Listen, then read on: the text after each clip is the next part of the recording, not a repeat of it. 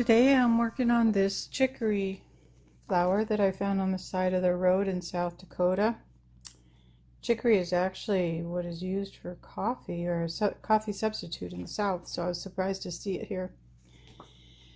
Um, I generally do my compositions on the computer, so these are cutouts of different photographs. Like you can see this one here is this part here.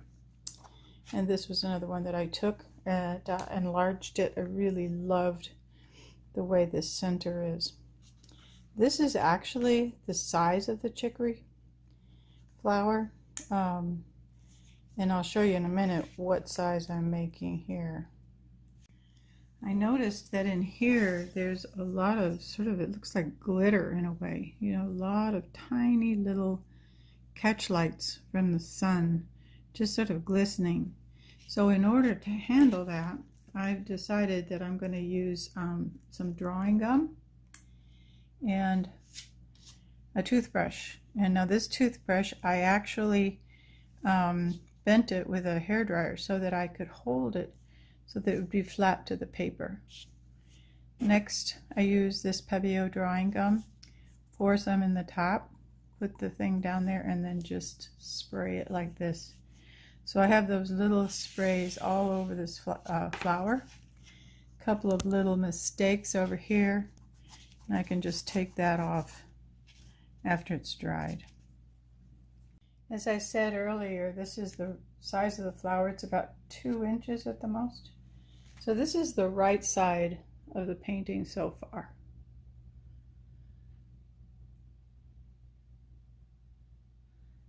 And this, uh, the background is kind of fun for me because it's all just splashes of color. There's salt in here and then splashes of water in there as well. So I'll just keep going on this. I like to use these little roses. Uh, this is a Richardson rose, which I just love because I can mark what's in there.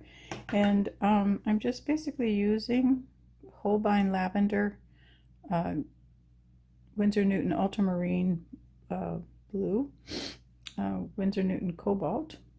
This is Daniel Smith's Undersea Green, which I really love for the super darks. Pretty easy to get there.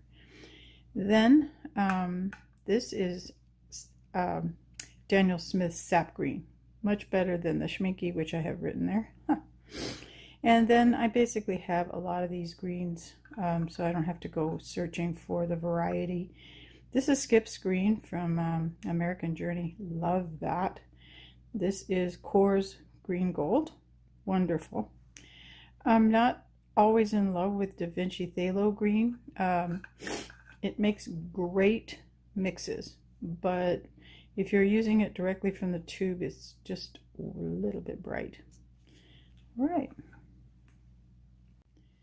Most of the time I'm using this wonderful silver black velvet um, oval. It's three quarter inch and it's just perfect for wetting down this size um, painting. This is an Escoda Perla Synthetico. I love it because it really holds a point. And then this one is a Kolinsky from Isabey. It's a number seven. And um, I never thought I'd be using anything like this, and this is a great brush. I use freezer paper, kitchen freezer paper, to keep the rest of my painting clean, just from drips and so forth. And um, I'm going to show you just one little petal. There's kind of a nice little technique I use that has to do with timing of drying of the water. I thought you might like to see that. What's nice about the freezer paper is I can put the water and the paint right on top of this large painting and not worry about it coming um, down onto the painting and ruining it. So I'm just going to use this large, this is actually only a three quarter inch, and I am wetting the entire petal to start. So this process is just about wetting, waiting, and lifting. Um, when I get to the edges, I'll probably soften some of this edge just because hard and soft lines are a lot more attractive. And also then I use the light to make sure that um, I haven't missed any spots here with the water. I've already uh, used masking fluid to keep the whites and I do use a lot of gouache in case I blow it. Okay, so now I'm going to let that dry just a little bit while I'm using, this time I'm going to use this Synthetico because I don't want a lot of paint on my brush. So um, this Holbein Lavender is really a nice paint. And I noticed that there is, this is light, then there's a, sort of a light crossover here and light down here. So um, got to preserve those because if I don't, it's even the gouache doesn't save it that much. So this is my first pass through here and it might be just a little bit too dark. That's okay because I can save that. And I wanted to keep a light thing going through here. So let's lift some of this. My other favorite tool is a paper towel. And just as it, um, whoop, as it dries, it'll hold these lines more. Now notice if I lift this brush up, it puts a puddle there. So you usually start from where you don't want the puddle to, to be. Now let me see here.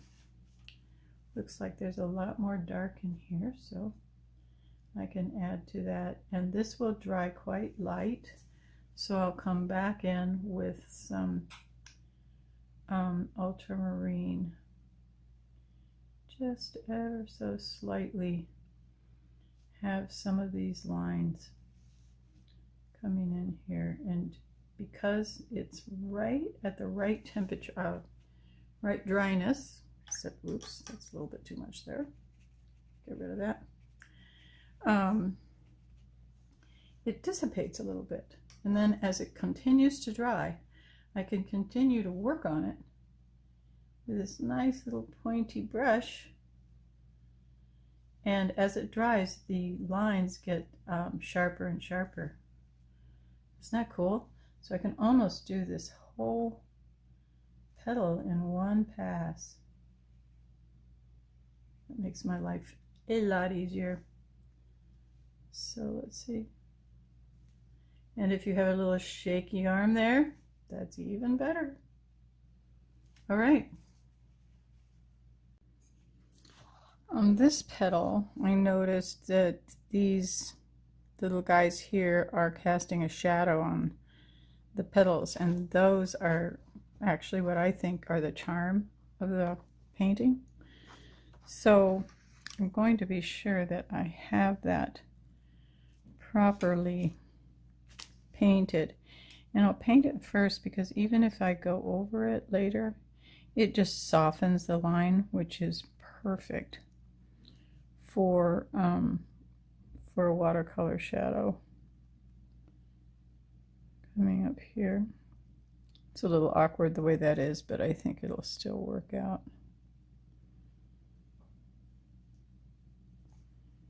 And while I'm here,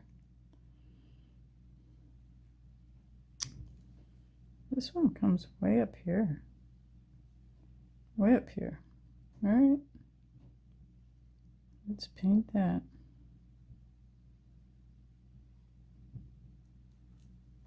And then this is a really nice dark blue, which I'll do with ultramarine blue as well as that one. After wetting the papers thoroughly, in the areas where I'm going to do the background, I usually use a really small brush especially if the background is supposed to have a lot of variation in color. Um, I will intensify the paint in some areas and make it real thin. And the other thing that I do is I use several brushes that are completely loaded with different pigments. And the reason that I do that is so that I don't have to go back and load a brush, which takes time. Um, this fixes it so that I have more time on a wet piece of paper. Later on, I'll put salt on and splash water onto the background as well.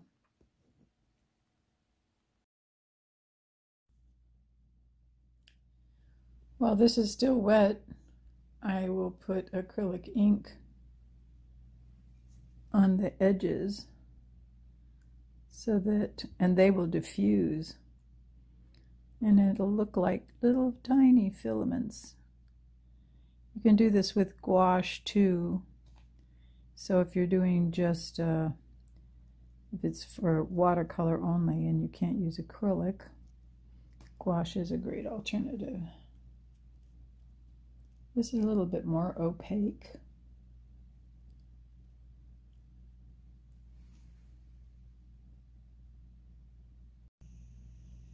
So I think I have completed the painting, but I'm not absolutely sure.